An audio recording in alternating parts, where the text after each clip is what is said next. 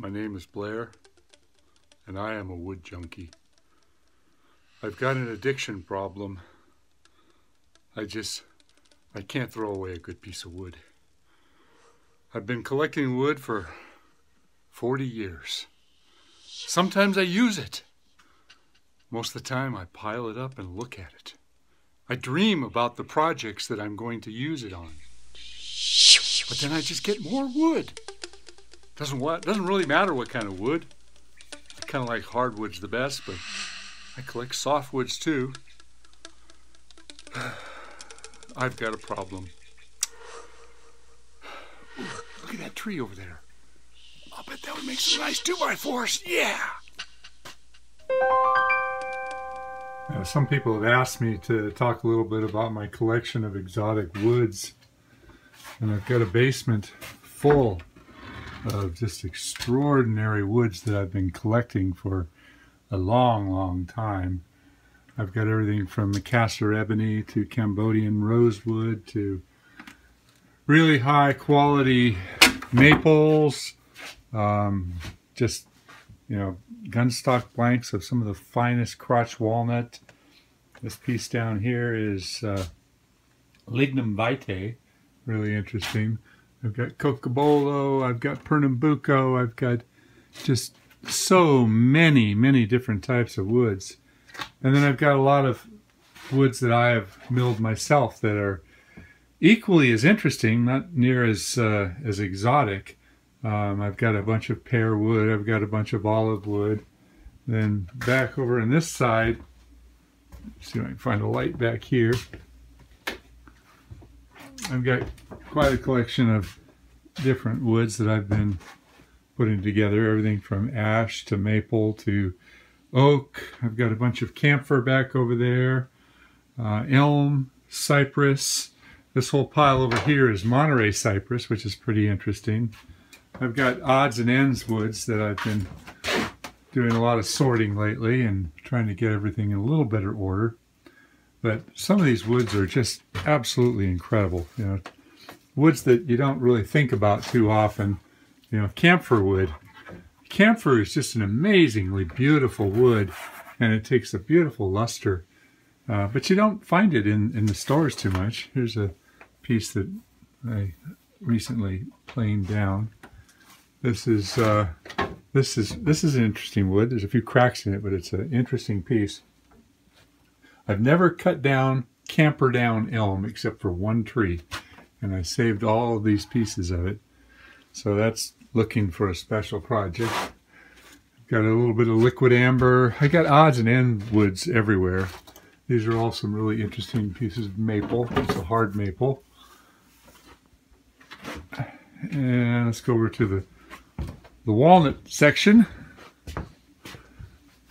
Okay, ah, this is interesting. This is my nuts and bolts collection. I've had a few friends who have gotten on in age and passed away, and I've inherited a few things. I've got an incredible nuts and bolts collection. Everything in here is stainless. So I've got from tiny to really big, you know, just incredible amount of stuff. And it's kind of neat to have your own little hardware store.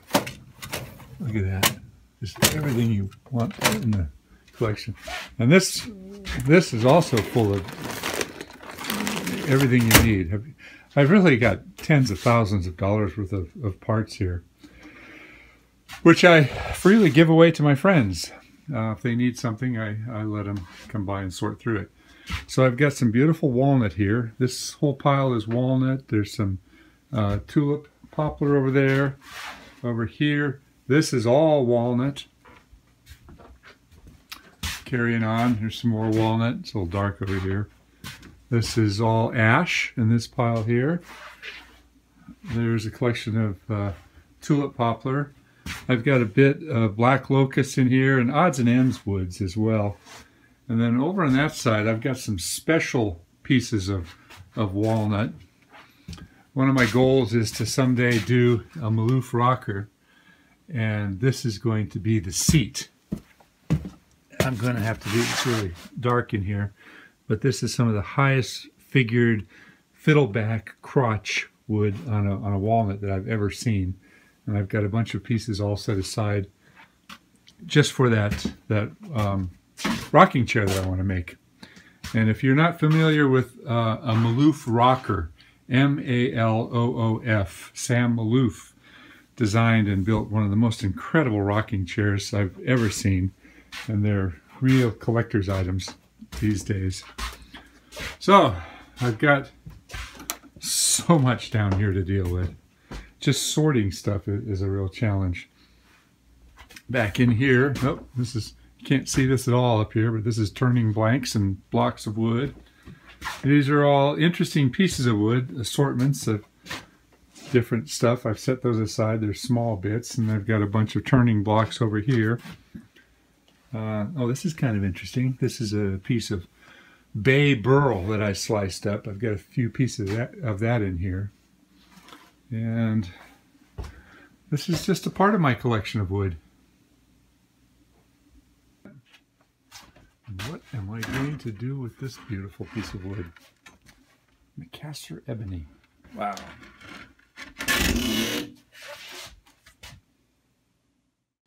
All right, in fairness, I think I need to talk a little bit about why I have so much wood.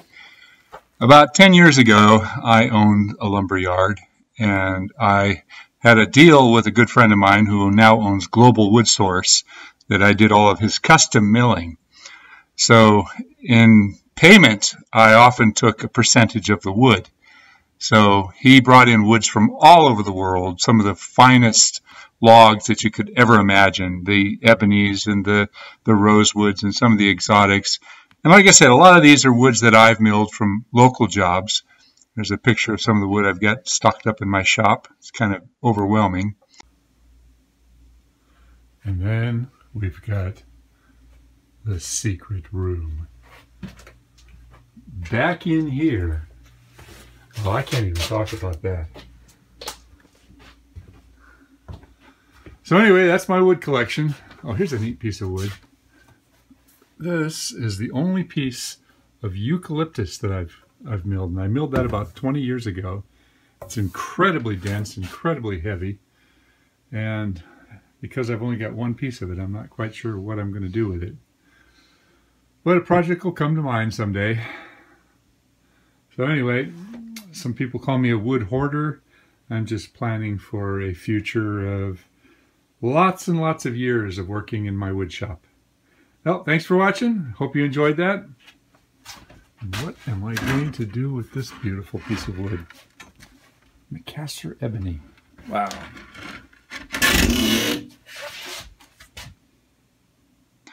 I've got lots of odds and ends pieces, but it's been a fun hobby and I have sold wood. I also sell veneer. So, uh, well, hope you enjoyed that.